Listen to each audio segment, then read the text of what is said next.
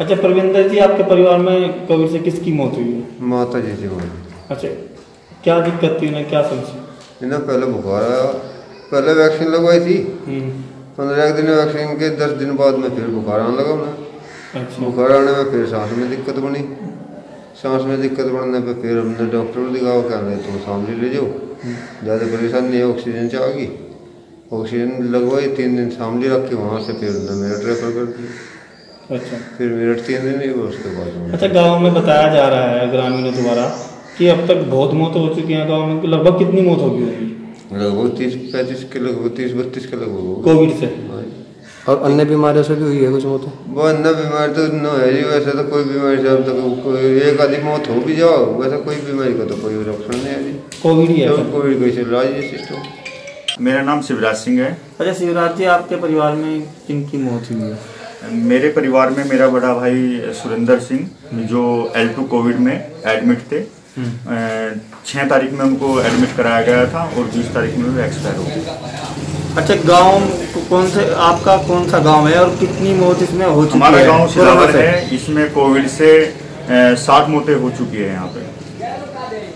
और ज़्यादातर मौतें जो हुई है वे कोविड के कारण ही हुई है। और अन्य बीमारियों से भी है अन्य बीमारियों से भी है। अच्छा कुछ गाँव में सैनिटाइज वगैरह या हॉस्पिटल में कोई टीम वगैरह आ रही है? हाँ जी हाँ दो बार हमारे गाँव में प्रधान जी ने सैनिटाइज कराया है बहुत अच्छी बात है कि पूरा गाँव सैनिटाइज कराया है घर घर जाके। तो जी गाँव में क्या बीमारी चल रही है और जिस तरीके से मौतों का आंकड़ा आ रहा वो कितना है? मौतों का आंकड़ा जी लगभग पचास के आसपास है ऊपर भी हो सकता है नीचे भी हो सकता है और बहुत ही खौफ का माहौल है। और ऐसा कभी शायद बुज़ुर्ग भी हैं जो वो भी नहीं कहते कि ऐसा समय आया इतनी मौतें लगातार हुई दो महीनों में। ये पहली बार ऐसा हुआ है और बहुत ही ज़्यादा लोग अ, मतलब डर में है भय में है। अच्छा जो पता चला है जो बताया गया ग्रामीणों द्वारा वो ये बताया जा रहा है कि कोविड से अधिकतर मौतें हो रही हैं। जी जी बिल्कुल। तो आपके अनुसार कि कोविड से कितनी मौत होंगी पचास में? मैं तो लगभग शायद सत्तर अस्सी परसेंट कोविड से ही होंगे जी लोग क्योंकि कुछ लोग हॉस्पिटल तक नहीं पहुँचे शाम को बुखार हुआ पता लगा दवाई ली सुबह चले गए क्योंकि लास्ट में उन्हें पता लगा। तो क्या टेस्टिंग हुई उनकी है जी। टेस्टिंग वगैरह हुई उनकी? टेस्टिंग मरने के बाद तो हुई नहीं जी लेकिन जो हॉस्पिटल से ही आए मरे बेचारे तो उनका तो हुआ ही है जी। अच्छा मरने वालों में एज का इफ़ेक्ट क्या है कि कितनी एज के अधिकतर लोग हैं? देखो जी एज में जो है 22 साल से लेकर 70 साल तक के आदमी है पचहत्तर साल तक के। अच्छा एक एक दिन में लगभग कितनी मौतें हुई हैं? दो दो या तीन टाइम दो या तीन दो या तीन टाइम में पाँच पाँच हुए। वैसे एक दो एक दो या सिंगल तो काफ़ी रहा। डेली का रूटीन में है जी। अच्छा लगभग कितने दिन का आंकड़ा बता रहे जो आप ये बीते कितने दिनों से आज तक का ये लगभग दो महीने का दो महीने में पचास साठ हाँ जी हाँ जी। आपके परिवार में मौत हुई है। किस कारण वश मौत हुई है? वो कोरोना से हुई जी अच्छा क्या समस्या थी? कब से समस्या थी? पहले बुखार आया जी दो दिन बुखार आया फिर कोरोना हो गया उनका और एक्सपायर हो गए कहाँ दिखाया था आपने?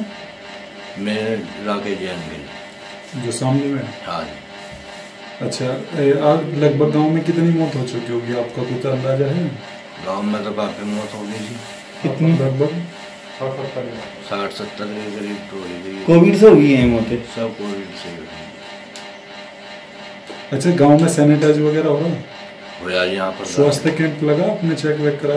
चेक हाँ जी दो दो दिन पहले होया अभी लगभग गाँव में कितनी पॉजिटिव रिपोर्ट आई होगी जो आप जैसे कर- जाँच भी चल रही? मेरे ख्याल में चार पाँच आई जी आ रही है डेली हाँ तो इसमें जब मौतों का जो आंकड़ा है उसमें कितनी उम्र के लोग हैं? बुज़ुर्ग हैं बच्चे हैं क्या है? उसमें बुज़ुर्ग भी है जी बच्चे भी है जी। सविता जी आपके पति की मौत हुई।